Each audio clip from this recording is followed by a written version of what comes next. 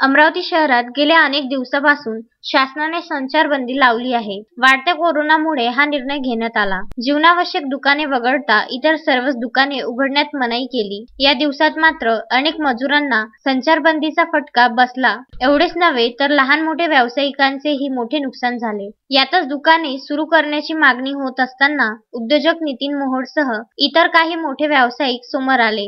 जिल्हाधिकाऱ्यांना दुकाने सुरू करून देण्यास परवानगी द्यावी याकरिता रविवारी रामपुरी कॅम्पमध्ये बैठक घेण्यात आली. त्यातच एकशे अठ्ठ्याऐंशी दोन तीन चार एकावन्न ब अंतर्गत पोलिसांनी गुन्हेही दाखल केले. मात्र पोलीस कारवाईला न घाबरता सोमवारी हरियाली हॉटेलमध्ये वृत्तपत्राचे संपादक प्रकाश पोहरे यांची पत्रकार परिषद घेण्यात आली. या पत्रकार परिषदेत मात्र कोरोना नाहीच असा खळबळीत चक्क प्रशासनाला आव्हानच केले. सोमवारी जिल्हाधिकाऱ्यांना काही व्यापारी मिळून निवेदन सादर केले ज्यामध्ये आठ मार्च पर्यंत सर्व व्यापारी नियमाचे पालन करून दुकाने बंद ठेवतील. मात्र या आठ मार्च पर्यंत जर कोरोना रुग्ण कमी झाले नाही तर शासनाने सर्व व्यापारीचे नुकसान भरपाई द्यावी असे लेखी द्यावे. अन्यथा मंगळवारी अमरावती शहरातील बिझीलँड सिटीलँड सह सर्वच दुकाने स्वतःहून सुरू करणार असे आवाहन शासनाला करण्यात आले. मंगळवारी सर्व दुकाने सुरू होणार या आशयाकडे सर्वच नागरिकांचे लक्ष लागले होते.